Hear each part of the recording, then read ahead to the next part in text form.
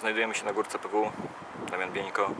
Chciałem Wam powiedzieć historię dotyczącą Powstania Warszawskiego. Otóż dziadek mojego dobrego kolegi, Pawła, parę tygodni przed powstaniem zakopywał broń w Kampinosie. Było to jakieś 40% broni, która w ogóle miała być użyta w Powstaniu Warszawskim. Jestem ciekawy, kto był odpowiedzialny za wydanie rozkazu zakopywania, wywozu broni z Warszawy, która miała się bić. Będziemy próbowali o tym nakręcić materiał dla Was, bo jest to dość mocna ciekawostka.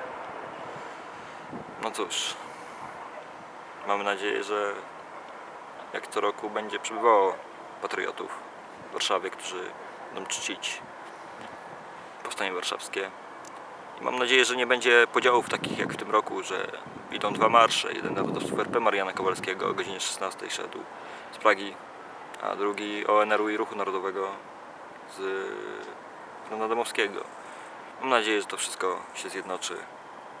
W przyszłym roku kolejne już 73 obchody Powstania Warszawskiego będą naprawdę mocne i wielkie.